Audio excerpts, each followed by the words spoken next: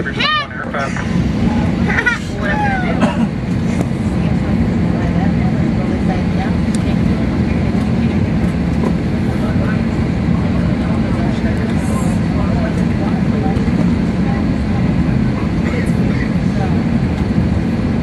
Maybe there's a heart right there. There's a heart.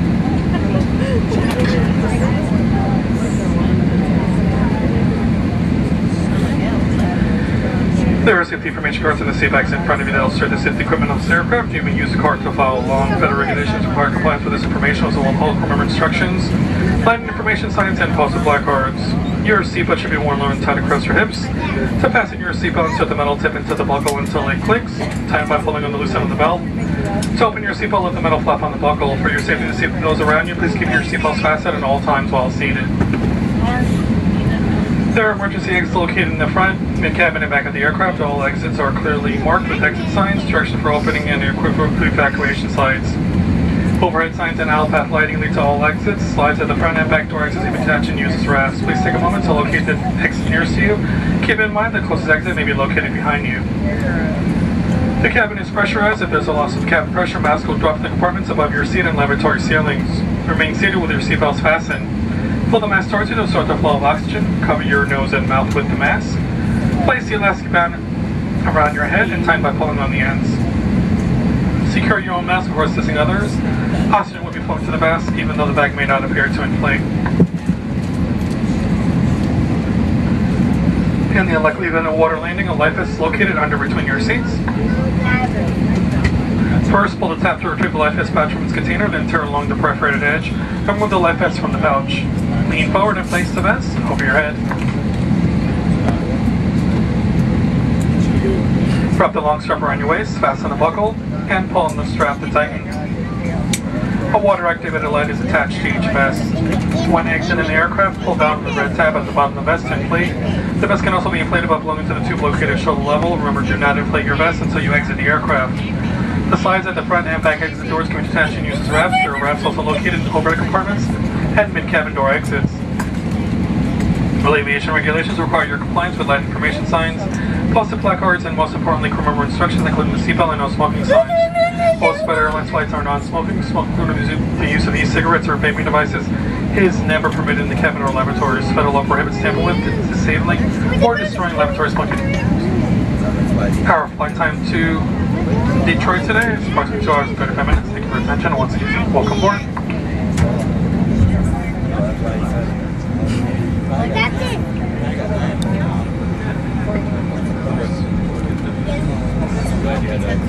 it. Right here. Check left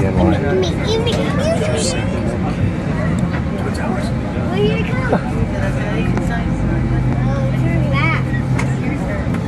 Ladies and gentlemen, in just a few moments we will be dimming the cabin lights. You'll find above your seat a reading light, flight attendant call button, and air vents. Thank you.